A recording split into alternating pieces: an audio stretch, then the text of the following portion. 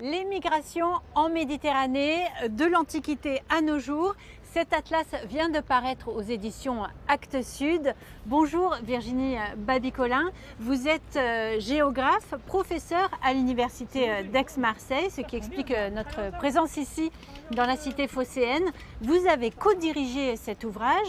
Expliquez-nous pourquoi vous vous êtes intéressé aux migrations. Qu'est-ce que vous avez voulu montrer? Ce que nous avons voulu montrer dans cet atlas, c'est que le phénomène migratoire est loin d'être une nouveauté que c'est un phénomène qui s'inscrit dans la très longue durée.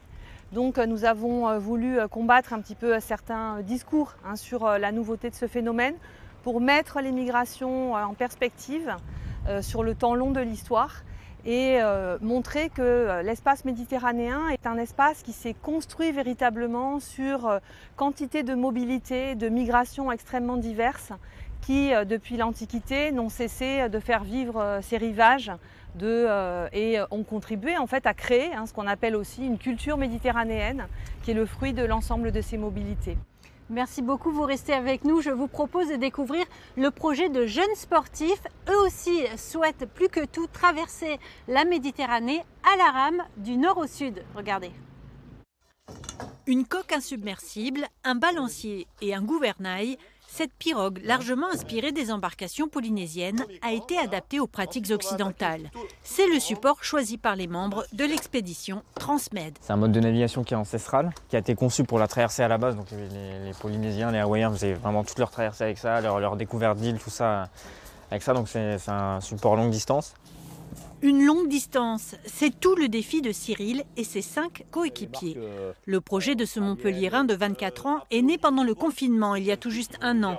On va mettre mon côté dans l'eau. Rompu au canoë-kayak, l'équipe a trois mois pour se familiariser avec l'OC2.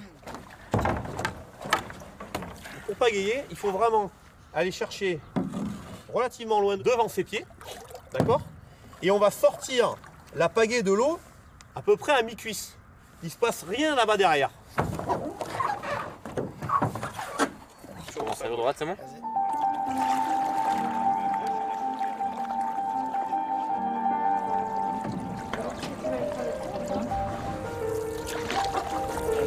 Traverser la Méditerranée du nord au sud devrait prendre trois semaines. Trois rameurs se relayeront toutes les six heures entre les côtes héroltaises et le Maroc. Cyril et Florian apprécient la pirogue. Ça glisse bien. Une bonne glisse. Ça glisse très, bonne glisse. Il y a moins d'efforts à faire au niveau euh, gainage pour euh, garantir la stabilité de l'embarcation. Meilleure endurance musculaire en fait, parce qu'on va ramer 1200 km, donc c'est quand même pas rien. donc il nous faut une, une, embarcation avec une très bonne glisse et musculairement au niveau de l'effort physique, on puisse euh, bah, ramer sans se, sans se mettre dans le rouge en fait.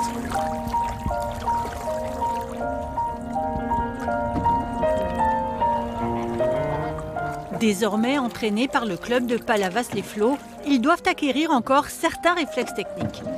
Allez, 3, 2, 1, top Mais pour tenir le rythme, il faudra autre chose. D'être tout seul sur l'eau, au milieu de rien, avec aucune notion de vitesse. Parce que là, on est dans un canal, ou même quand on est en mer au bord, on voit défiler un peu le bord. Mais quand on n'a pas d'expérience, qu'on est au large et qu'on n'a aucun repère, là, il va falloir euh, se rendre compte mentalement qu'on glisse, qu'on avance. Et ça risque c'est là que je ne sais pas. On verra bien. La force mentale de Cyril viendra peut-être de là. 17 ans de musique classique, des concours internationaux, l'excellence des conservatoires et depuis toujours un lien avec l'élément haut. Il y a un côté de, dépassement de soi dans, le fait d'être musicien, dans, le fait de se renouveler en tant que musicien. L'élément marin impose de se renouveler aussi, d'être humble aussi, d'avoir une certaine humilité, euh, ce qu'impose également la musique en fait. Donc il y a des valeurs qu'on peut retrouver euh, dans, ces deux domaines-là euh, pour essayer de les domestiquer au mieux. Se dépasser, mais avant tout bien se préparer la trame qui va taper comme ça, donc qui va aider un peu.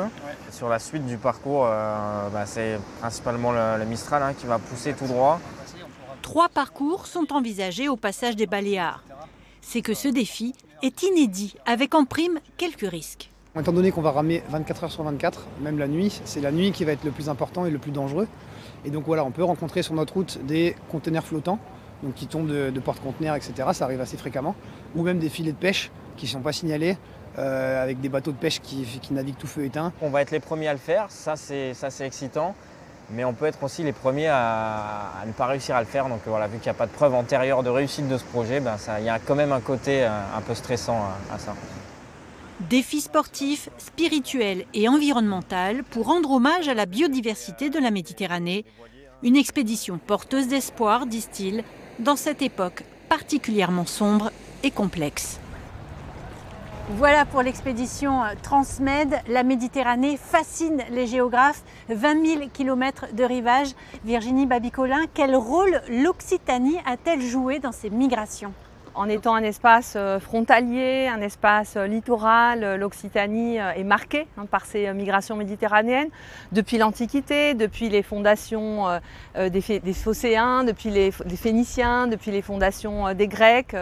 À l'époque médiévale, on peut par exemple parler aussi des marchés d'esclaves hein, qu'on trouvait en Occitanie, en particulier d'esclaves musulmans qui étaient capturés lors de la Reconquista, hein, cette reconquête de l'Espagne catholique face aux musulmans.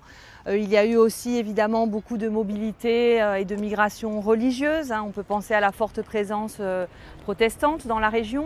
On peut penser aussi à bien sûr l'arrivée des Espagnols en Occitanie après la guerre d'Espagne. N'oublions pas que les migrations sont à la fois faites d'accueil, hein, d'hospitalité, mais aussi de rejet. Hein. On peut par exemple citer le massacre des Italiens à Aigues-Mortes en 1893 qui témoigne aussi que les phénomènes d'ostracisme, de discrimination et de racisme hein, sont euh, aussi présents euh, que les phénomènes d'accueil et d'hospitalité.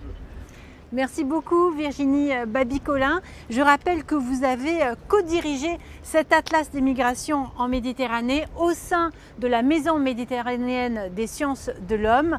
80 historiens, géographes, anthropologues et politologues ont contribué à cet ouvrage.